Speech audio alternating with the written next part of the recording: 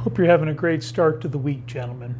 I was doing some work on the computer, getting some quote cards loaded up for this coming few weeks, and there was a quote about growth only occurring basically outside of your comfort zone. And this involves and holds true with mindset, relationships, and your physical well being.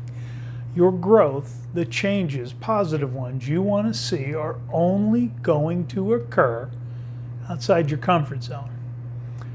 So, are you pushing yourself? Now, I started back to cross week, CrossFit last week.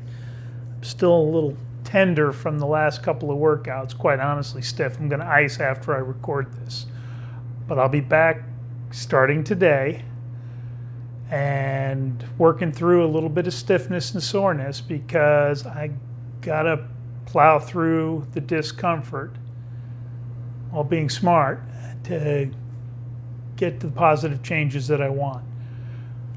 In the comments down below, put what are you doing to physically get outside of your comfort zone? Is there a challenge you're working towards? Are you going to spin classes? Are you going to CrossFit? What is it, brother?